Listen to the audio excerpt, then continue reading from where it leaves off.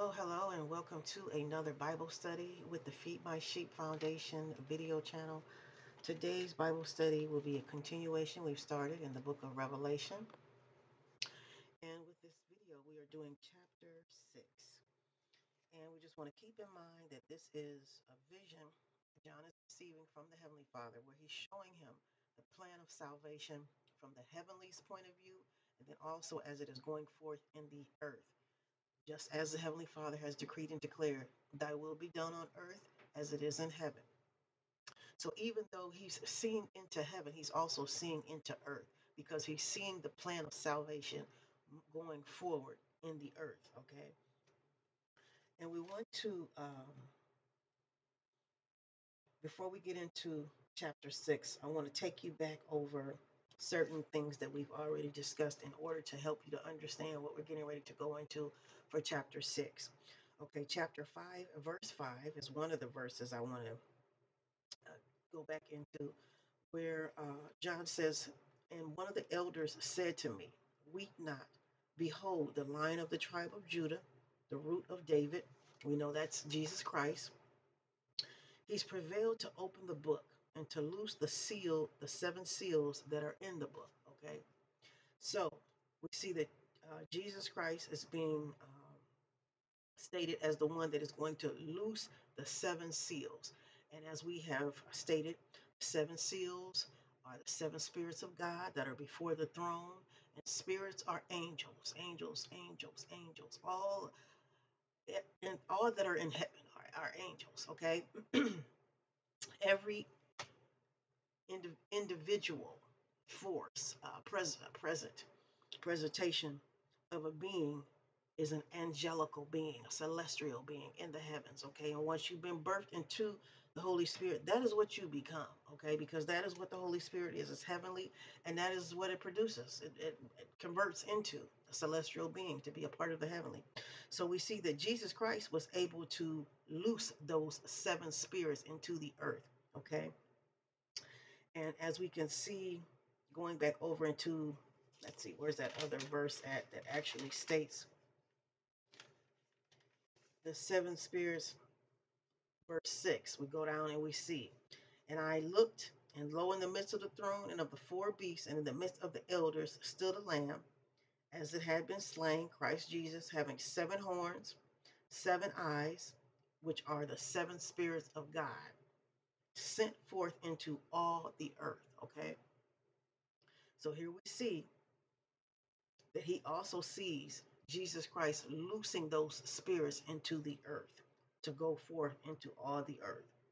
Now, as we begin to read chapter six, we're going to see those seven spirits, those seven sealed spirits, because the sealing of the Holy Spirit is what is the seals, what uh, the word seal is being used to represent that, that individual that has been stamped, that has been uh, converted by the Holy Spirit. So they've been sealed with the seal of the promise of the Holy Spirit. And we can see where, uh, let's see here. Um, Ephesians chapter 1. Let's go there where we can see that the Holy Spirit is what seals us unto the Heavenly Father. Chapter 1, verse 13, and where the word seal derives from. And that's Ephesians as it pertains to the Word of God and as God uses, as I want to say. So that's Ephesians chapter 1 and verse 13. And he says here, uh, Paul is talking to the Ephesians. He says, In whom you also trusted after that you heard the word of truth the gospel of your salvation, in whom also, after that you believed, you were sealed with that Holy Spirit of promise. Okay, so we see that the Holy Spirit seals. Okay, it um, converts and it closes the matter between mankind or that individual and God. Okay, it is for mankind if all would believe, but all are not going to believe but to the individual that does believe, it seals the promise of the Holy Spirit. It seals them into the kingdom of God. Okay? So it says, which is the earnest of our inheritance until the redemption of the purchased possession, unto the praise of his glory. Okay, so that begins every other promise. Once an individual has been converted, sealed by the Holy Spirit, that activates every other promise through the power of the Holy Ghost for that individual. Okay, so another, let me see, is there another scripture I want to go into? I think that's going to be it. So we're going to start here with chapter 6. So John says, I saw the, the lamb, when the lamb opened one of the seals, okay? And I heard, as it were, the noise of thunder, and one of the four beasts saying, Come and see, okay? So he begins to open one of the seals, the releasing of the seals into the earth, okay? The releasing of the angels, because that's what they are, into the earth and what their assignment is in the earth. And he goes on to say, verse, t- verse 2 I saw and behold a white horse. He that sat on that white horse horse had a bow, and a crown was given to him, and he went forth to conquering and to conquer. Okay? He went forth to conquer and to conquering. And when he had opened, let's stick with this first seal. Okay, so going into that seal, that first angel that was released into the earth to conquer and for conquering. And again, all of these seals are released on behalf of the heavens through the power of the Holy Spirit and revelation with Christ Jesus and salvation. Okay, now we have this uh, conquering to deal with the conquering seal and the angel that is sent into the earth to conquer. We see Jesus Christ explaining that in, let's see here, Romans chapter 8, explaining the spirit of conquering. Romans chapter 8. mm, And 37, where he tells us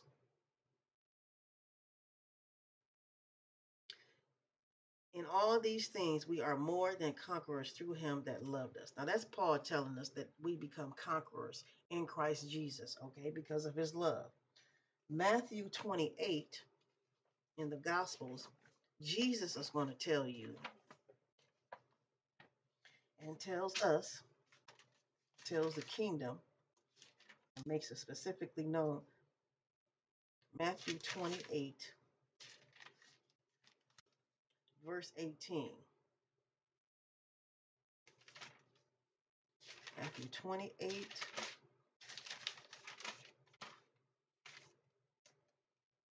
Jesus came unto them and spoke, and he said, All power is given unto me in heaven and in earth. Okay? So all power has been given unto Christ Jesus.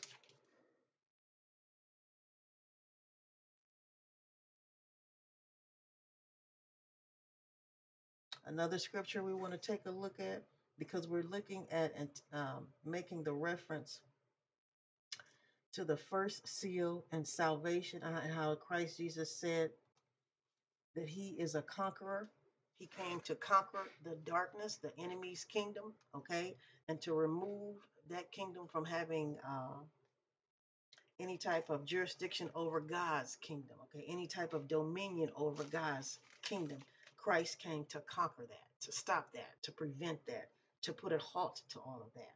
So, in, in doing that, we become conquerors in Christ Jesus because we also go forward through that power of that spirit to conquer also those that are afflicted by the kingdom and want to come into the kingdom of heaven, kingdom of God, want to be born again and to be relieved of that affliction of the kingdom of darkness, the kingdom of the devil.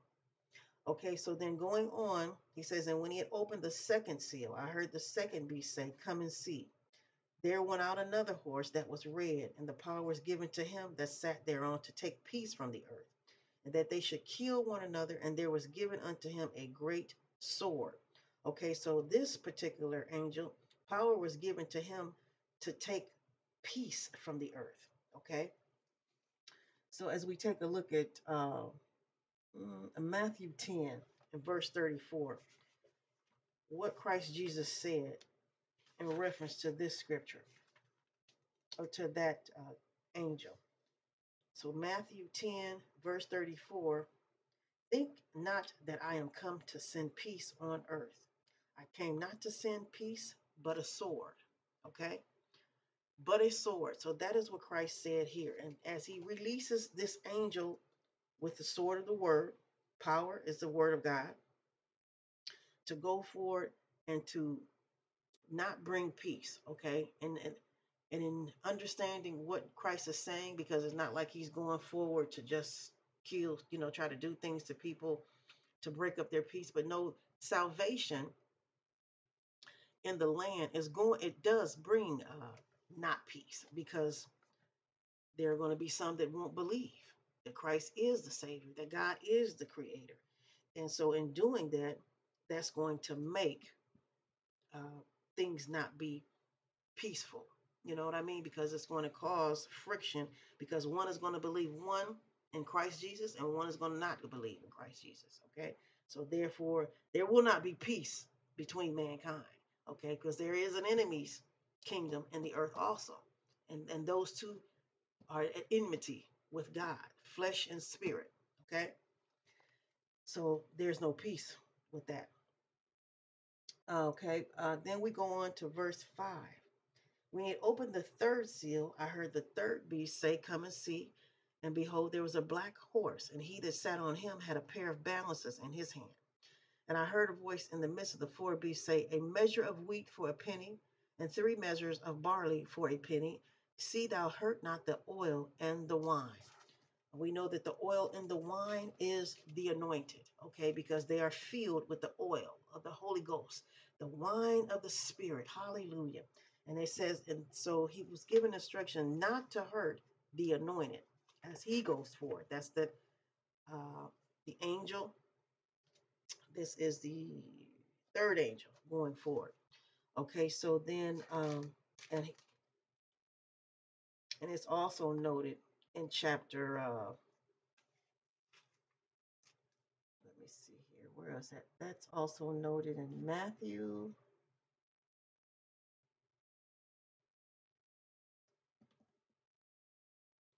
Mm, I don't have it noted here where that is, but it's also it's noted in the Word of God to uh, and also in the Revelation, and we're going to read about it more as we go forward with these chapters in the Revelation book. how God decreed and declared to hurt, not the anointed. Okay.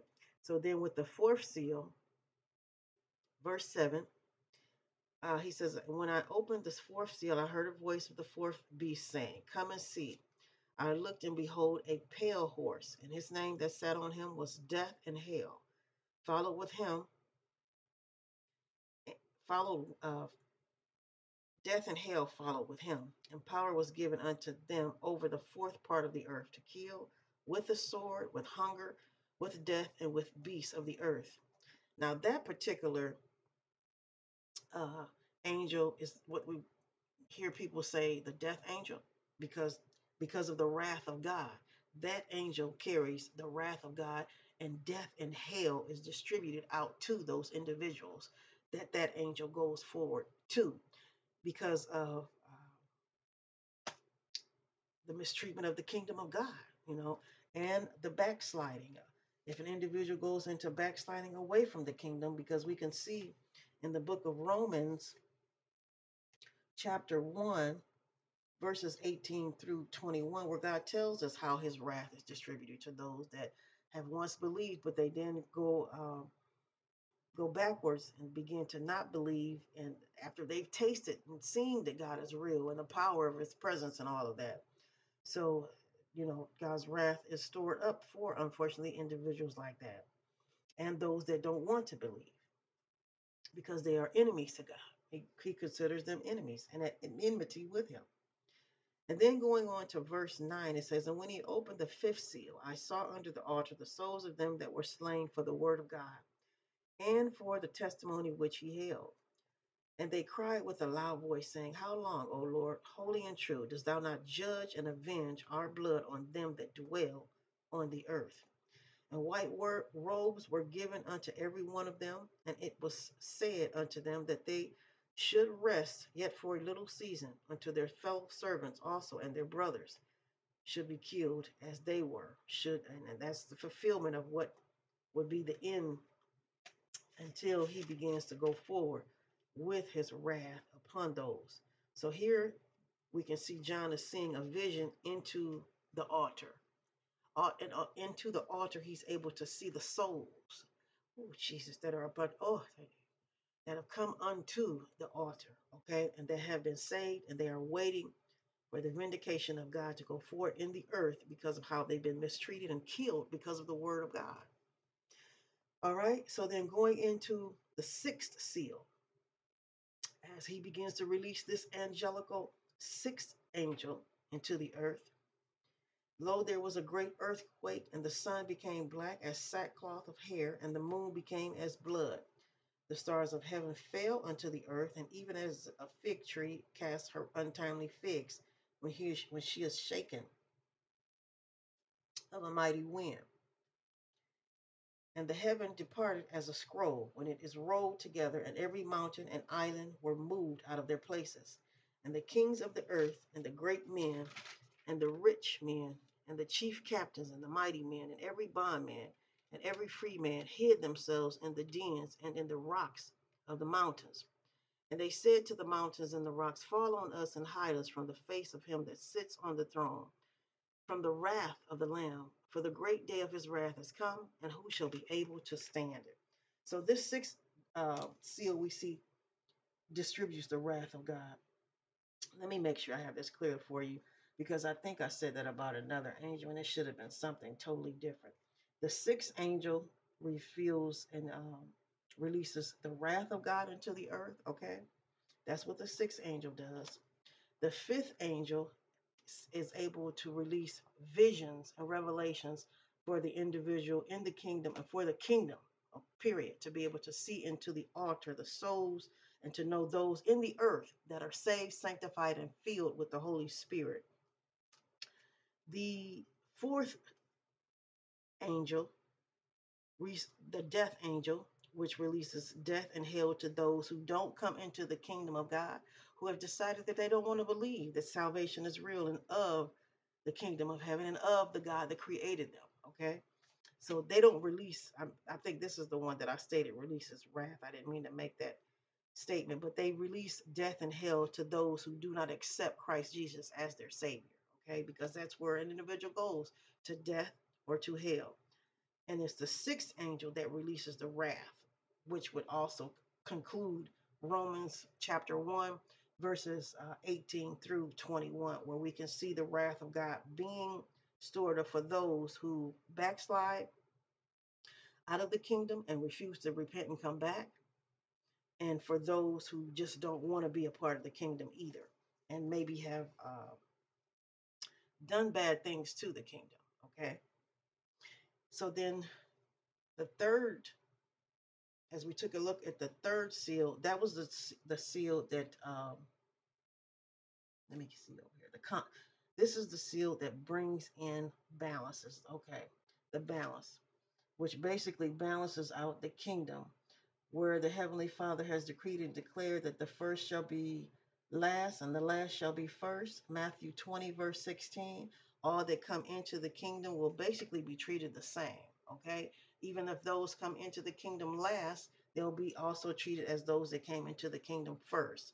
Those that were treated came into the kingdom first will also be treated as those that will be that came into the kingdom last. So everybody in the kingdom will be treated the same because of the power of the Holy Spirit, and we all become one in the kingdom. So therefore, Jesus said that in the story that he spoke of in uh, Matthew 20. Let's go here to Matthew 20, where we can see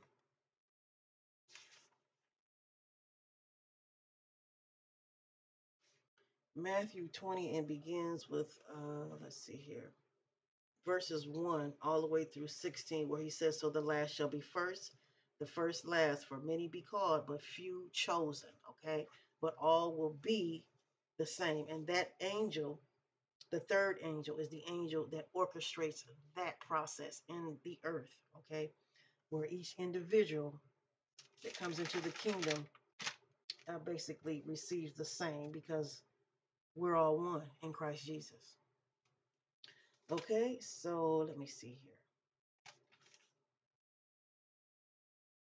So I just wanted to go back into explaining and making sure that we're understanding the the angels that were sealed and that were released into the earth and what their uh, commission was and is in the earth as they go forward with it and they are going forward with it right now okay because they have been re- released in the earth and uh, we can see the effects of all of these things going forward in the kingdom all right, so that is going to bring me to the conclusion, pretty much chapter six in the book of Revelation. God bless you. God be with you. And I will see you as we go forward here on our Bible study with the Feed My Sheep Foundation video channel.